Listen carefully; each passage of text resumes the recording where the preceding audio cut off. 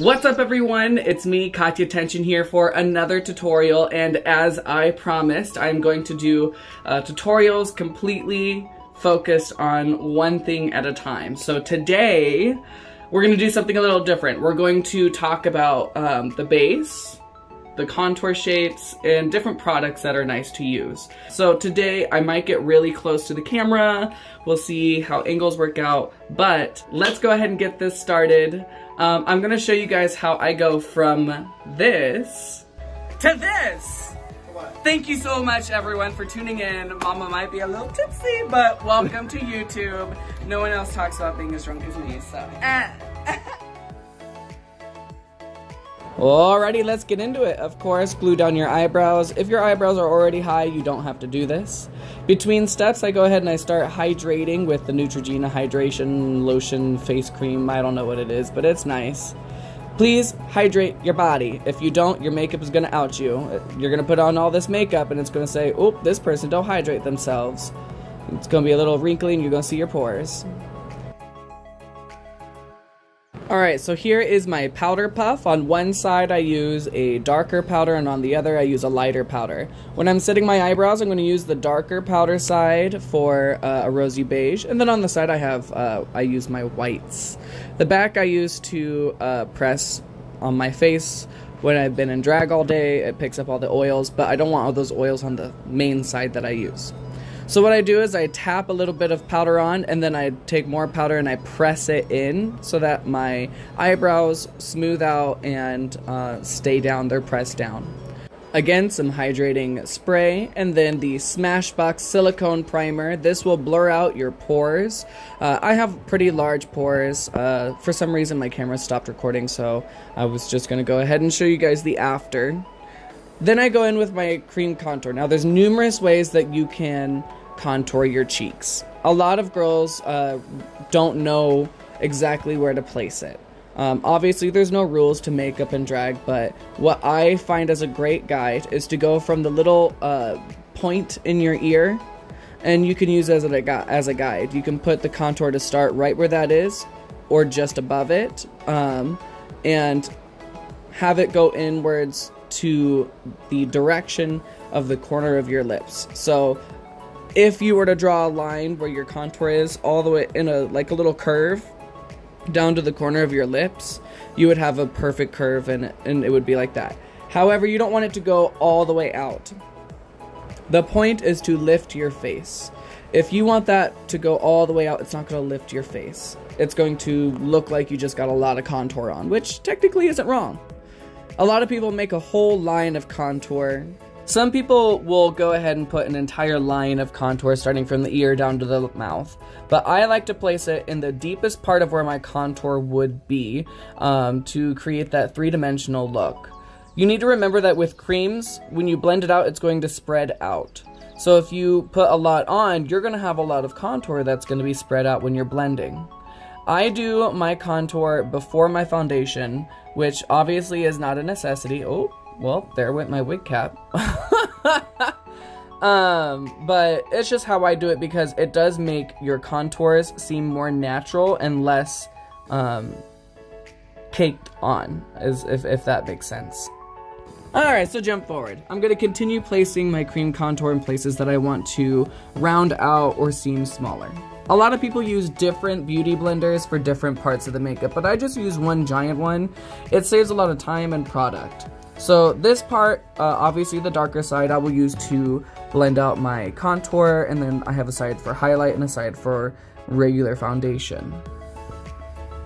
So now let's get to blending. When you're blending your foundations or creams, uh, make sure you're dabbing up and down. You can do it in small motions. I lift away quite a bit, um, but don't smear it around everywhere. You, there, if you find a little spot that's not blending, you can slightly smear it, but don't go crazy.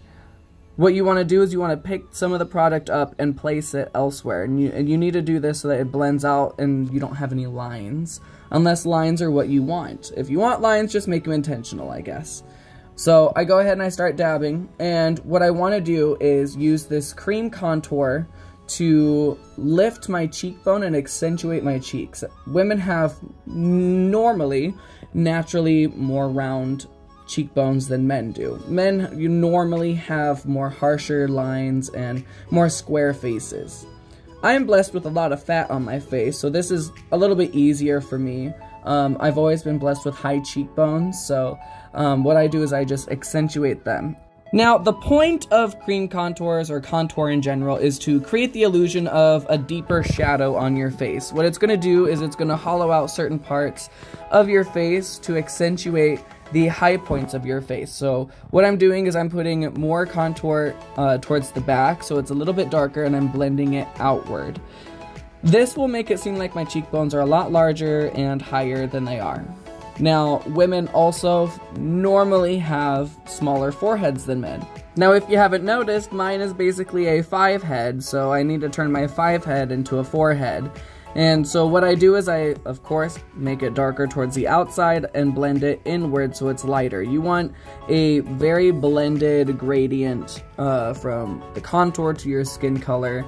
Um, the brightest will be in your T-zone. Alrighty, now time to fast forward to foundation. I saw NikkieTutorials use Dermacol once, so I had to do Dermacol. it is one of the highest coverage foundations I've ever used, and it is so easy to work with. It's so easy to work with that even Kryolan and some other foundation brands that drag queens use, um, on their packaging, it does recommend to pair it with this foundation. Um, so I use a fluffy foundation brush. I don't think it's the right kind of brush, but it works for what I want it to do. I apply it in my T-zone because I don't want to mud up my original color. Because, um, of course, when you blend it in with uh, the contours, it might come out a little darker because, you know, colors blend. That's how life works. So what I do is I apply it on my T-zone where I don't have any foundation or color yet. Applying with a brush also makes it easier to cut under your contour. If you don't like the shape, it gives you a chance to uh, clean it up basically if you can either have a super strong line that's cut under your cheek or you can buff it out with your brush before you blend everything with your beauty blender. So right now what we're doing is just placing the product and then I will of course blend a little bit with my brush and then after that I will blend with my beauty blender to really press it into the skin and pores. So once you finish placing the product in your T-zones, go ahead and start dabbing the leftover product that was on your brush and put it over your contour sections. Then you can go ahead and clean up even more under your cheek and then take leftover product on your hand with your beauty blender and blend, blend, blend. You're pressing this into your skin.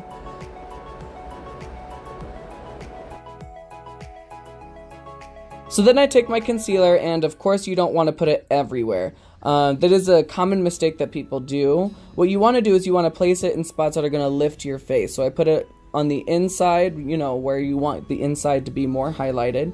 And then you put it in your forehead, nose, and for me, I like to highlight my chin and above my lip. I think it creates an extra dimension. So then I add a whiter, or basically just white from Morphe, uh, a white concealer because I am pasty, and so I need to match my skin tone. so I go ahead and I place some cream contour on my nose, blend that out. I just do a, a little guidance. I don't do a full line anymore. I used to, but uh, I've learned that you're better off just making a little guidance and then, of course, blending it out and spreading it out. So then I use my cream contour to start drawing on some eyebrows. Uh, hopefully, unlike my, one of my other videos, they will be even this time. Uh, eyebrows are hard, but remember, they have to be sisters, not twins. So then I clean up under my eyebrows with a concealer. This will, you know, make it cleaner for when you're finishing your brows later. I like to do the brows while everything else is still wet before you set everything because if you mess up, you can just put foundation over it. And you can always fix something that's not finished. Now, if you set it and you did your eyebrows after your face is set, you can't just put foundation over that because it'll just become super um, grainy and it'll pick up in certain spots and it's just not a good time. So then I go ahead and I blend under my eyes one more time and I start setting. I'm using neutral over my T-zone where I like the brightness. And then to create extra dimension, I'm going to use my rosy beige setting powder on my contour sections. So what's that gonna, what that's gonna do is, um, basically with the more rosy, warm setting powder, it's gonna warm up your contour section so that you don't have just a cold tone brown. Um, and so you don't look like you're dead. so then you brush that away and you go ahead with your uh, contour. I'm using my Anastasia Beverly Hills and my Ulta palettes. I start with the lightest color and then I go darker step by step. A rule of thumb really is to start light and go dark. It's so much easier to build on top of something rather than to take it away or try and void out colors. So then I go into one of my eyeshadow palettes and I use a combination of two darker browns to deepen out the very back ends of my contour. And then I go in with some blush. That blush is going to be a little transition tone between the browns and your uh, skin tone. And it's also going to put some life into your skin so, again, you don't look dead. You uh, don't want to be cold all the time. And then I had a nice little visit from my best friend Cheeto. He's my baby. He was feeling a little neglected, so he decided to hop up, and um, I obliged because he's super cute and I can't resist. So everyone, hi, meet Cheeto. He's a sweetheart. He literally started hugging onto my shoulder and uh, made me feel like I was a bad cat dad, but I'm not because I literally cuddle him every single day, almost all the time. He tried draping himself all over me. Such an obsessive cat, but I love him. Alright, so we've done a lot of our powder contours. Now it's time to deepen those eyebrows. What I do is I go in with a pomade from Morphe, which is in a darker color, I don't remember.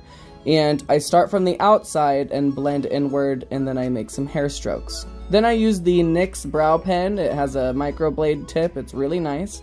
And I draw in individual hairs to make it look a little bit more realistic because while I am a drag queen and they're clearly fake, I want to give some sort of realness to the look. I don't like eyebrows that look fake all the time. Um, so having a little bit of extra dimension, it, it just feels really nice, to be honest. Um, and then I go ahead and I use my Airspun in extra translucent and start uh, baking. I also place that under my eyes so that if I have any fallout, mama will be fine. And it's time for the eyes. I'm not going to talk about this this week because next week I will be focusing on eye shape, application, and colors.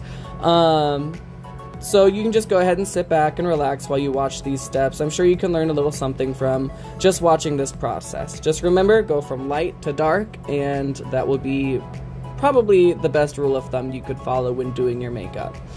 Um, at this time, I just really wanted to say thank you to everyone who's been watching. Uh, it does mean a lot because I work extremely hard for um, everyone to see my art, and I also want to help other people kind of learn different ways of doing makeup, and I don't know if mine's considered different, but uh, I do enjoy helping people and, you know, showcasing my art to the world. So, thank you everyone for subscribing, following, watching, all that jazz. It's it's really been a fun adventure. So, uh, I really can't wait to see you guys next week. Thank you. I also want to apologize because unfortunately while I was filming this tutorial my phone did break so I wasn't able to get a final picture of the look. However, I did get that little video that one of my drag daughters took on her phone for me and sent to me because mama's phone is fixed now and hopefully it stays that way.